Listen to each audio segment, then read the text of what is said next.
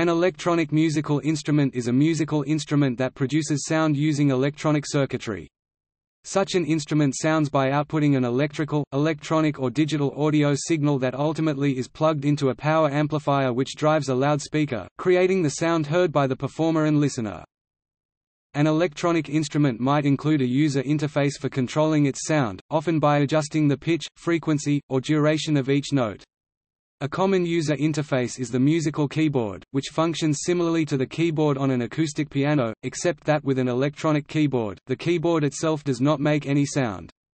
An electronic keyboard sends a signal to a synth module, computer or other electronic or digital sound generator, which then creates a sound. However, it is increasingly common to separate user interface and sound-generating functions into a music controller input device and a music synthesizer, respectively, with the two devices communicating through a musical performance description language such as MIDI or Open Sound Control. All electronic musical instruments can be viewed as a subset of audio signal processing applications. Simple electronic musical instruments are sometimes called sound effects. The border between sound effects and actual musical instruments is often unclear. In the 2010s, electronic musical instruments are now widely used in most styles of music. In popular music styles such as electronic dance music, almost all of the instrument sounds used in recordings are electronic instruments e.g., bass synth, synthesizer, drum machine. Development of new electronic musical instruments, controllers, and synthesizers continues to be a highly active and interdisciplinary field of research. Specialized conferences, notably the International Conference on New Interfaces for Musical Expression, have organized to report cutting-edge work, as well as to provide a showcase for artists who perform or create music with new electronic music instruments, controllers, and synthesizers.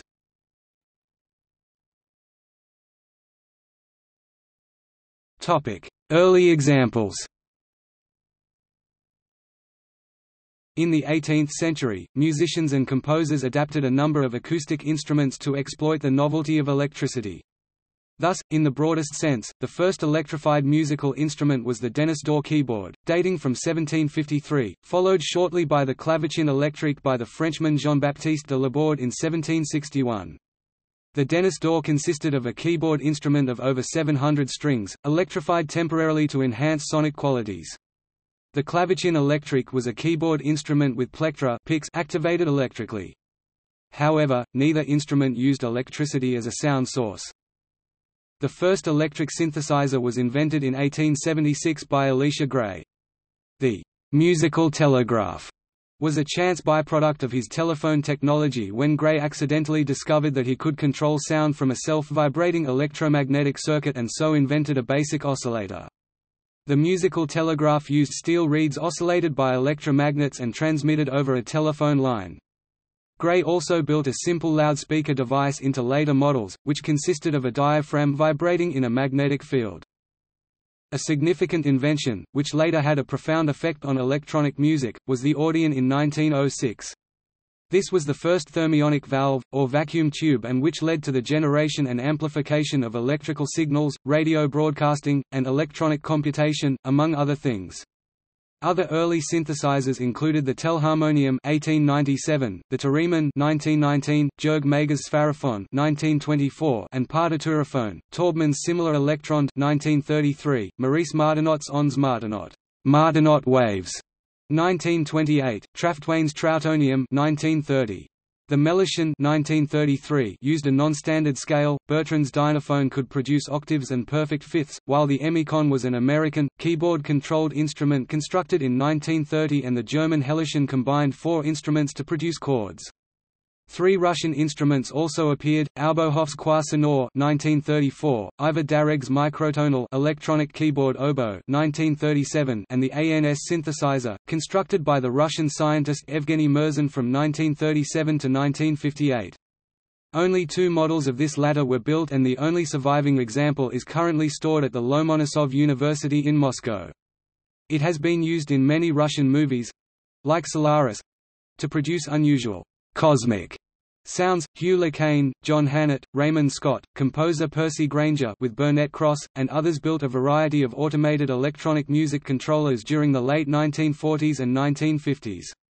In 1959 Daphne Oram produced a novel method of synthesis, her Oramics, technique, driven by drawings on a 35 mm film strip, it was used for a number of years at the BBC Radiophonic Workshop.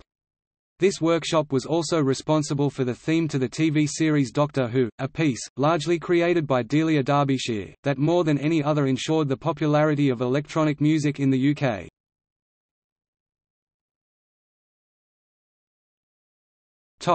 Telharmonium In 1897 Thaddeus Cahill patented an instrument called the telharmonium or teleharmonium, also known as the dynamophone.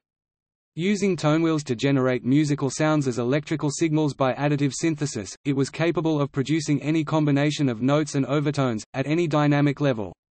This technology was later used to design the Hammond organ. Between 1901 and 1910 Cahill had three progressively larger and more complex versions made, the first weighing 7 tons, the last in excess of 200 tons. Portability was managed only by rail and with the use of 30 boxcars. By 1912, public interest had waned, and Cahill's enterprise was bankrupt.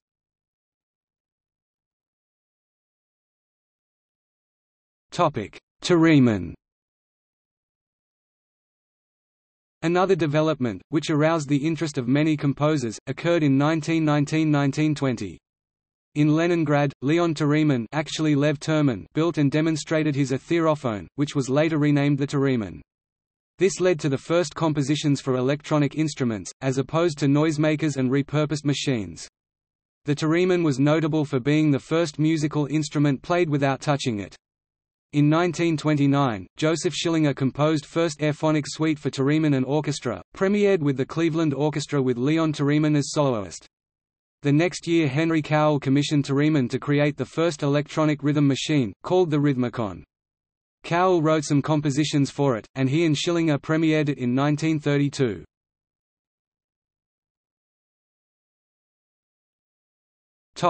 Ondes The 1920s have been called the apex of the mechanical age and the dawning of the electrical age. In 1922, in Paris, Darius Milhaud began experiments with vocal transformation by phonograph speed change. These continued until 1927. This decade brought a wealth of early electronic instruments. Along with the theremin, there is the presentation of the Ondes Martenot, which was designed to reproduce the microtonal sounds found in Hindu music, and the trautonium.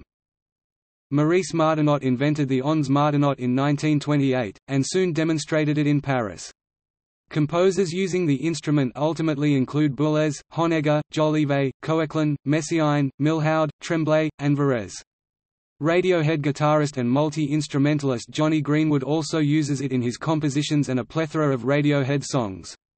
In 1937, Messiaen wrote Fête des Belles Eaux for six Ondes Martenot, and wrote solo parts for it in Trois Petites Liturgies de la Présence Divine 1943–44 and the Turangalîla Symphonie 1946–48 90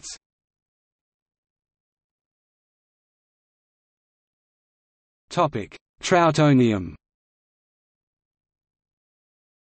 The trautonium was invented in 1928. It was based on the subharmonic scale, and the resulting sounds were often used to emulate bell or gong sounds, as in the 1950s Bayreuth productions of Parsifal. In 1942, Richard Strauss used it for the bell and gong part in the Dresden premiere of his Japanese festival music. This new class of instruments, microtonal by nature, was only adopted slowly by composers at first, but by the early 1930s there was a burst of new works incorporating these and other electronic instruments.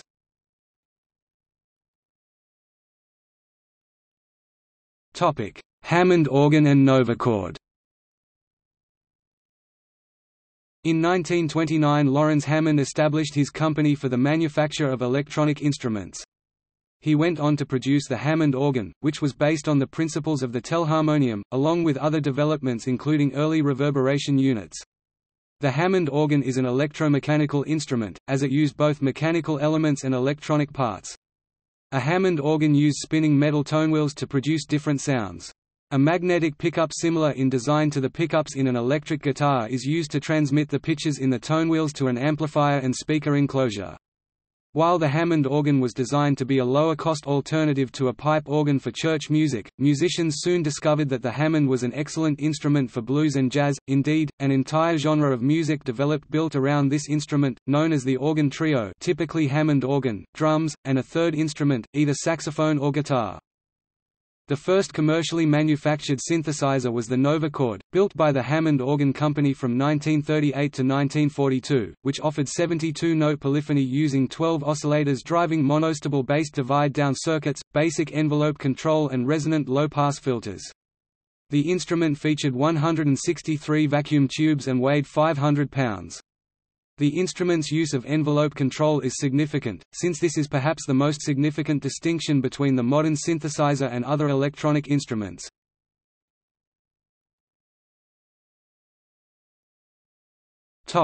Analog synthesis 1950 to 1980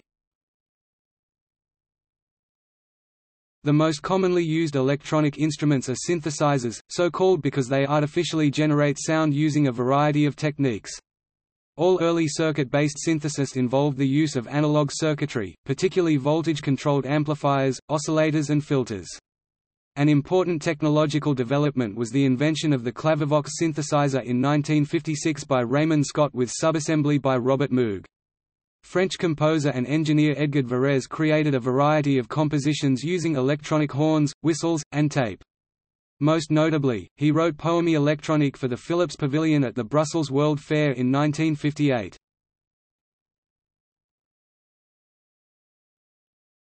Topic: Modular synthesizers RCA produced experimental devices to synthesize voice and music in the 1950s.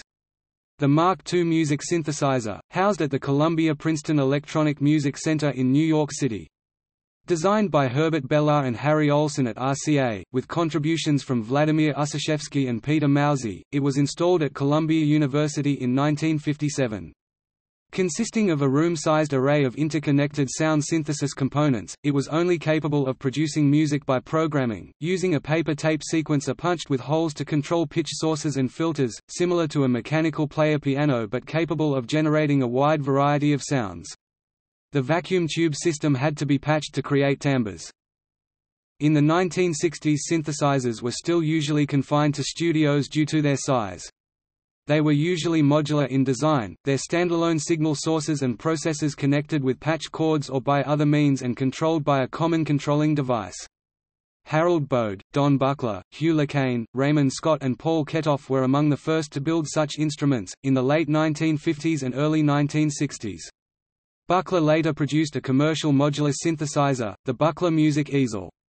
Robert Moog, who had been a student of Peter Mauzey and one of the RCA Mark II engineers, created a synthesizer that could reasonably be used by musicians, designing the circuits while he was at Columbia Princeton.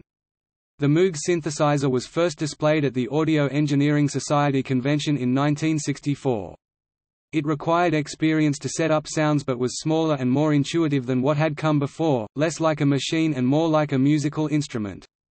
Moog established standards for control interfacing, using a logarithmic 1 volt per octave for pitch control and a separate triggering signal. This standardization allowed synthesizers from different manufacturers to operate simultaneously. Pitch control was usually performed either with an organ-style keyboard or a music sequencer producing a time series of control voltages. During the late 1960s hundreds of popular recordings used Moog synthesizers. Other early commercial synthesizer manufacturers included ARP, who also started with modular synthesizers before producing all-in-one instruments, and British firm EMS.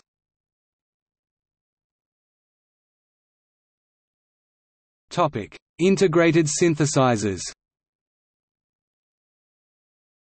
In 1970, Moog designed the Minimoog, a non-modular synthesizer with a built-in keyboard. The analog circuits were interconnected with switches in a simplified arrangement called normalization. Though less flexible than a modular design, normalization made the instrument more portable and easier to use. The Minimoog sold 12,000 units, further standardized the design of subsequent synthesizers with its integrated keyboard, pitch and modulation wheels and VCO to VCF to VCA signal flow. It has become celebrated for its «fat» sound and its tuning problems. Miniaturized solid-state components allowed synthesizers to become self-contained, portable instruments that soon appeared in live performance and quickly became widely used in popular music and electronic art music.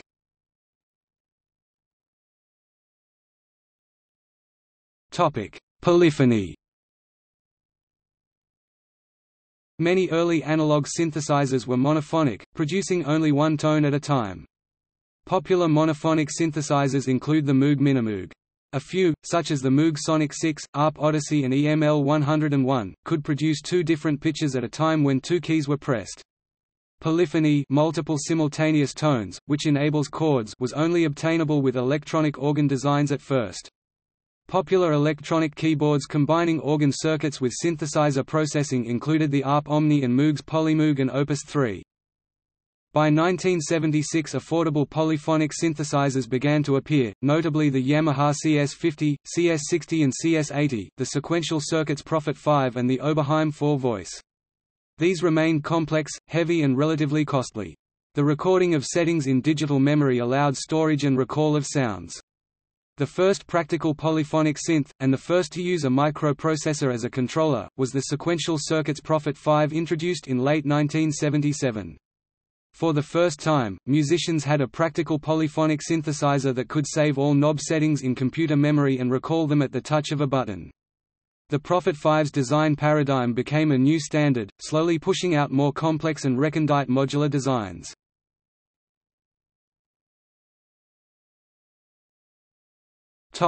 Tape recording In 1935, another significant development was made in Germany. Allgemeine Elektrizitätsgesellschaft AEG demonstrated the first commercially produced magnetic tape recorder, called the magnetophone, audio tape, which had the advantage of being fairly light as well as having good audio fidelity, ultimately replaced the bulkier wire recorders. The term, electronic music, which first came into use during the 1930s came to include the tape recorder as an essential element electronically produced sounds recorded on tape and arranged by the composer to form a musical composition. It was also indispensable to musique concrete. Tape also gave rise to the first, analog, sample playback keyboards, the Chamberlin and its more famous successor the Mellotron, an electromechanical, polyphonic keyboard originally developed and built in Birmingham, England in the early 1960s.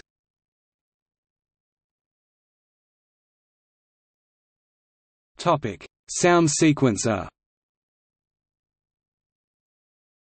During the 1940s to 1960s, Raymond Scott, an American composer of electronic music, invented various kind of music sequences for his electric compositions. Step sequences played rigid patterns of notes using a grid of usually 16 buttons, or steps, each step being 1 16th of a measure. These patterns of notes were then chained together to form longer compositions. Software sequences were continuously utilized since the 1950s in the context of computer music, including computer-played music software sequencer, computer-composed music music synthesis, and computer sound generation sound synthesis.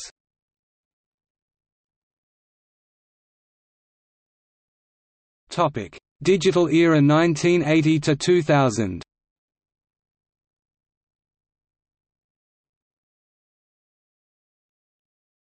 Topic: Digital synthesis. The first digital synthesizers were academic experiments in sound synthesis using digital computers. FM synthesis was developed for this purpose, as a way of generating complex sounds digitally with the smallest number of computational operations per sound sample. In 1983 Yamaha introduced the first standalone digital synthesizer, the DX7. It used frequency modulation synthesis FM synthesis, first developed by John Chowning at Stanford University during the late 60s. Chowning exclusively licensed his FM synthesis patent to Yamaha in 1975. Yamaha subsequently released their first FM synthesizers, the GS1 and GS2, which were costly and heavy. There followed a pair of smaller, preset versions, the CE20 and CE25 combo ensembles, targeted primarily at the home organ market and featuring four-octave keyboards. Yamaha's third generation of digital synthesizers was a commercial success, it consisted of the DX7 and DX9 1983. Both models were compact, reasonably priced, and dependent on custom digital integrated circuits to produce FM tonalities. The DX7 was the first mass-market all-digital synthesizer. It became indispensable to many music artists of the 1980s, and demand soon exceeded supply.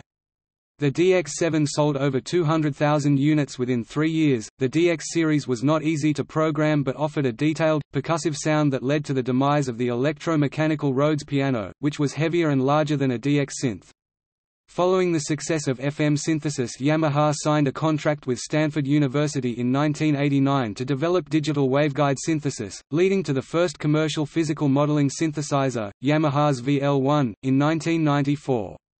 The DX7 was affordable enough for amateurs and young bands to buy, unlike the costly synthesizers of previous generations, which were mainly used by top professionals.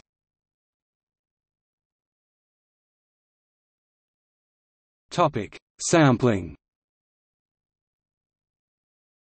The Fairlight CMI computer musical instrument, the first polyphonic digital sampler, was the harbinger of sample-based synthesizers. Designed in 1978 by Peter Vogel and Kim Ryrie and based on a dual microprocessor computer designed by Tony Furse in Sydney, Australia, the Fairlight CMI gave musicians the ability to modify volume, attack, decay, and use special effects like vibrato. Sample waveforms could be displayed on screen and modified using a light pen. The Synclavier from New England Digital was a similar system. John Appleton with Jones and Alonzo invented the Dartmouth digital synthesizer, later to become the New England Digital Corp Synclavier. The Kurzweil K250, first produced in 1983, was also a successful polyphonic digital music synthesizer, noted for its ability to reproduce several instruments synchronously and having a velocity-sensitive keyboard.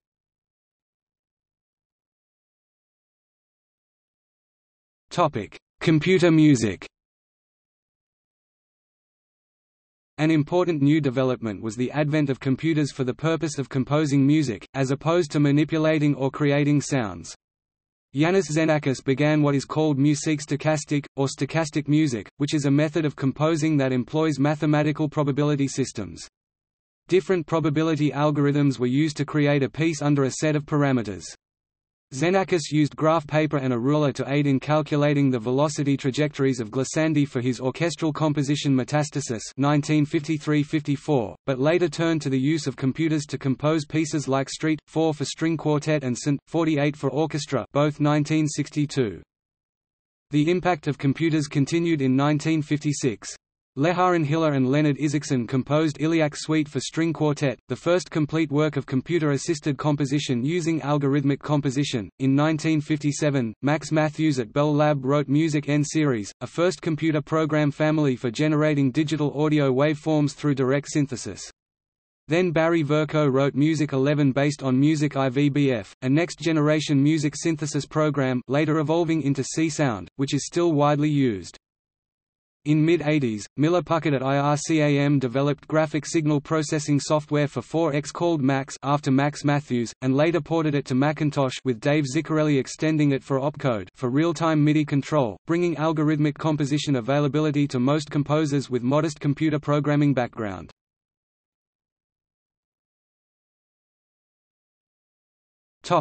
MIDI In 1980, a group of musicians and music merchants met to standardize an interface by which new instruments could communicate control instructions with other instruments and the prevalent microcomputer.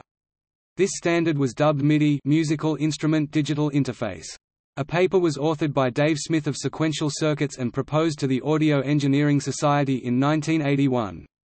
Then, in August 1983, the MIDI specification 1.0 was finalized. The advent of MIDI technology allows a single keystroke, control wheel motion, pedal movement, or command from a microcomputer to activate every device in the studio remotely and in synchrony, with each device responding according to conditions predetermined by the composer. MIDI instruments and software made powerful control of sophisticated instruments easily affordable by many studios and individuals. Acoustic sounds became reintegrated into studios via sampling and sampled ROM-based instruments.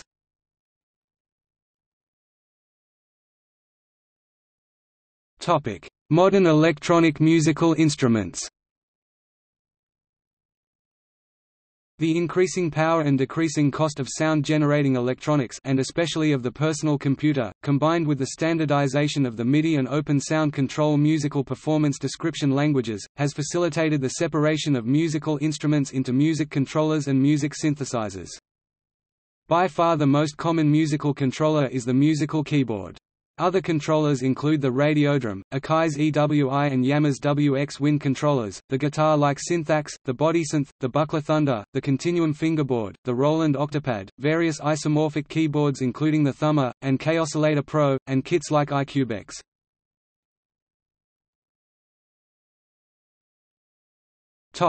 Reactable The reactable is a round translucent table with a backlit interactive display.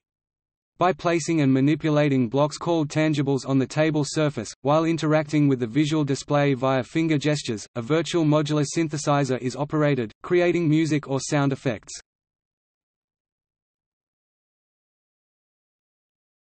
Percussa audiocubes Audiocubes are autonomous wireless cubes powered by an internal computer system and rechargeable battery. They have internal RGB lighting, and are capable of detecting each other's location, orientation and distance.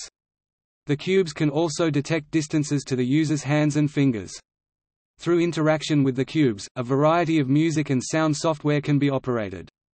Audiocubes have applications in sound design, music production, DJing and live performance.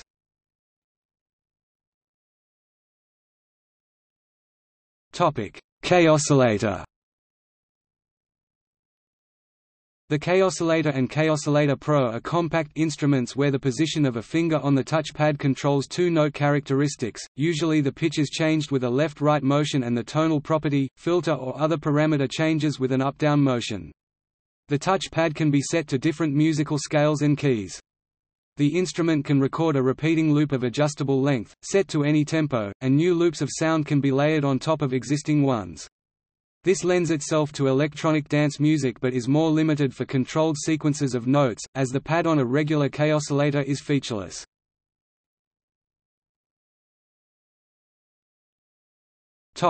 Eigenharp The eigenharp is a large instrument resembling a bassoon, which can be interacted with through big buttons, a drum sequencer and a mouthpiece. The sound processing is done on a separate computer. XTH Sense The XTH Sense is a wearable instrument that uses muscle sounds from the human body known as mechanomyogram to make music and sound effects. As a performer moves, the body produces muscle sounds that are captured by a chip microphone worn on arm or legs. The muscle sounds are then live sampled using a dedicated software program and a library of modular audio effects. The performer controls the live sampling parameters by weighing force, speed and articulation of the movement.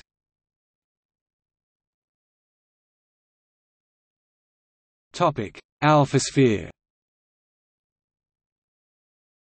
The alphasphere is a spherical instrument that consists of 48 tactile pads that respond to pressure as well as touch. Custom software allows the pads to be indefinitely programmed individually or by groups in terms of function, note, and pressure parameter among many other settings. The primary concept of the alphasphere is to increase the level of expression available to electronic musicians, by allowing for the playing style of a musical instrument.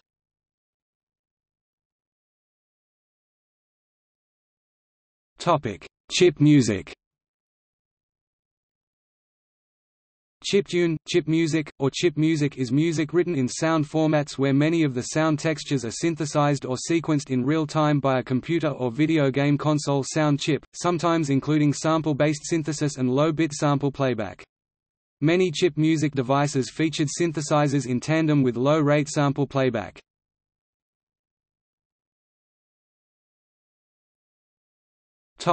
DIY culture During the late 1970s and early 1980s, DIY do-it-yourself designs were published in hobby electronics magazines notably the Formant Modular Synth, a DIY clone of the Moog system, published by Elektor and kits were supplied by companies such as PAiA in the US, and Maplin Electronics in the UK.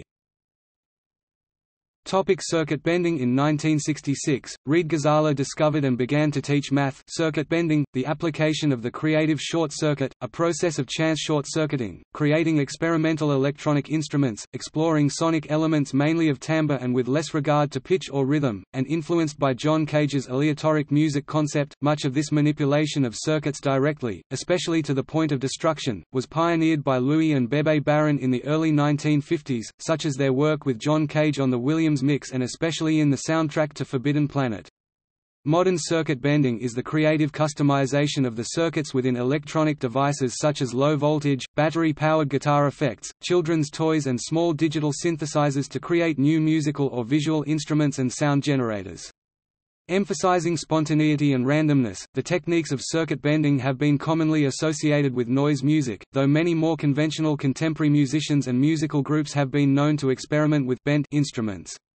Circuit bending usually involves dismantling the machine and adding components such as switches and potentiometers that alter the circuit. With the revived interest for analog synthesizer circuit bending became a cheap solution for many experimental musicians to create their own individual analog sound generators.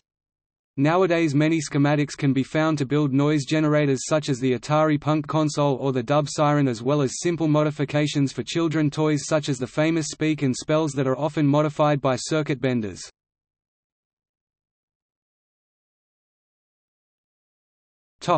Modular synthesizers. The modular synthesizer is a type of synthesizer consisting of separate interchangeable modules. These are also available as kits for hobbyist DIY constructors. Many hobbyist designers also make available bare PCB boards and front panels for sale to other hobbyists.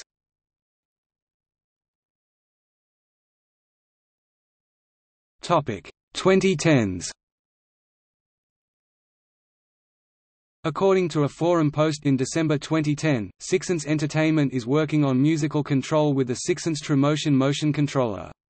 Immersive virtual musical instruments, or immersive virtual instruments for music and sound aim to represent musical events and sound parameters in a virtual reality so that they can be perceived not only through auditory feedback but also visually in 3D and possibly through tactile as well as haptic feedback, allowing the development of novel interaction metaphors beyond manipulation such as prehension.